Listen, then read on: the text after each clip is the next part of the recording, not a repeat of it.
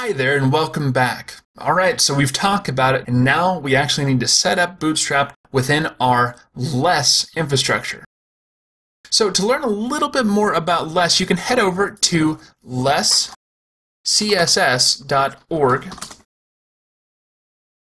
Here you can find out that it's a dynamic style sheet language. It helps us treat style sheets a little bit more like JavaScript.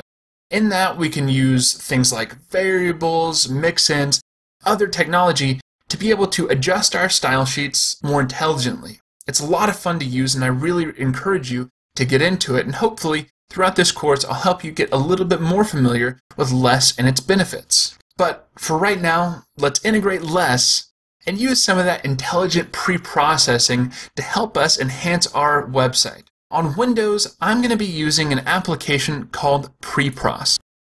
Prepros is an application that's actually going to do some of the pre-processing of our less files locally on our desktop. Prepros is a brand new Windows local preprocessor. On the Mac, I encourage you to go take a look at CodeKit. It's just like it says, it's like steroids for web developers. It's an incredible app that does a lot of the thinking for you. It does cost a little bit of money, but I really encourage you to take a look. If you don't want to use Prepros, there is an application called WinLess. It's a general user interface, or graphical user interface, I'm sorry, for Less as a pre-processing language right on your Windows desktop. But Prepros provides a lot of enhancements even over WinLess with some other files and some other things that you can do. So if you're on a Windows computer, I really recommend at least for this time, that you use Prepros. If you're on a Mac, you cannot go wrong with CodeKit. So now, let's integrate our site with Prepros. We'll do that by taking ClearStep, the folder, and just dragging it into our new project. You can see that Prepros kind of goes through and it skims our site and it finds some things that we might want it to process in the future.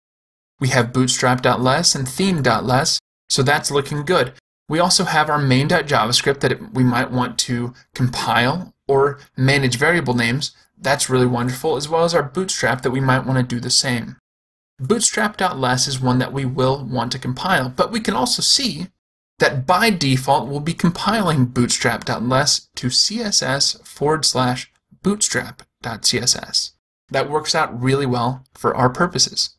Within that, we might want to make some smart decisions first. Let's compress our CSS and also auto-prefix our CSS. That might help us along the line. We don't need line numbers or necessarily strict maths, but we do want it to auto-compile every time we save. So this is looking good. Let's compile it for the first time. We can see that our compilation was successful, and let's check out our folder structure. If we go into our CSS, we can see that we've created a bootstrap.css. Let's take a look at it within the brackets development.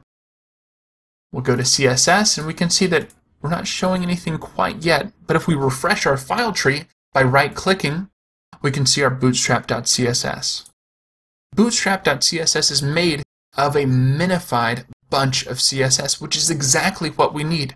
Because really, we want our code to be as small and compact as possible whenever it's on the server.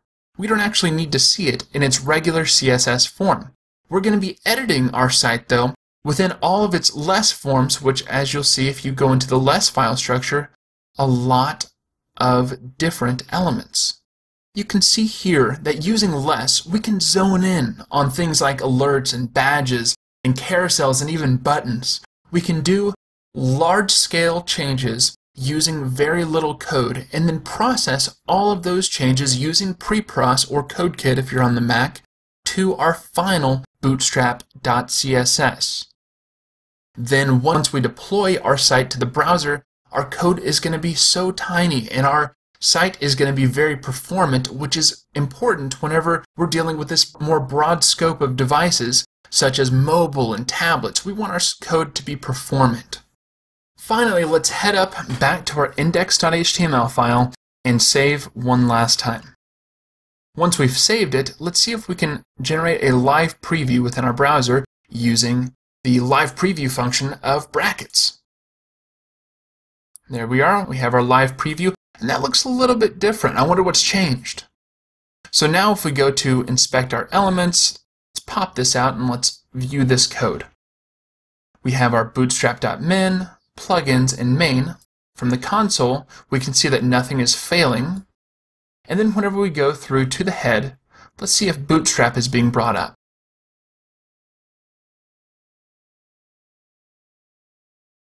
And it looks like not much is being shown. However, the comments are intact, except for we have this one line here. Let's see where that goes. Using this one line, we can see that our code is actually just being minified to one single line of CSS, no matter how many lines of CSS within our less document that we are using. So Bootstrap is successfully being brought up.